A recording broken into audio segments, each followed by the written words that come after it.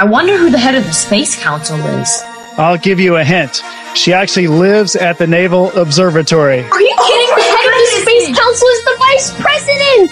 I just love the idea of exploring the unknown. So let's talk about space. space is exciting. It spurs our imaginations. All of this is something that we can imagine. Science fiction. Have big dreams. Space, it affects us all. And it connects us all. If you build something that looks like that, you can see the sun. Yeah. And you can see the moon, right? Swirling galaxies and dying stars. We have looked back on our Earth from billions of miles away. Billions of miles. Seeing Earth from space for the first time is awe inspiring and clarifying. Earth is kind of small. Yeah.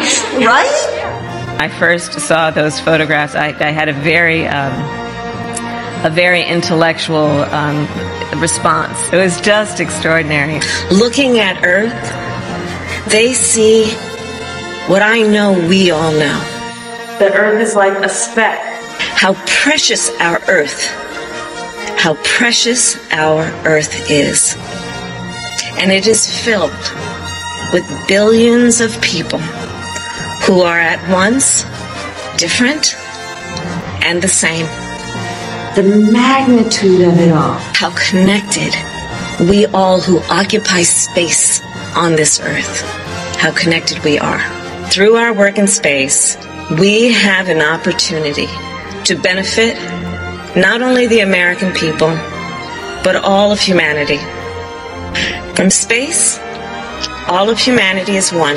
Global collaboration to take on global challenges in furtherance of our collective vision.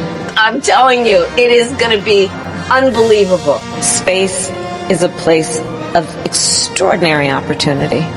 Our agenda, yes, our agenda is ambitious, both inspired and inspiring.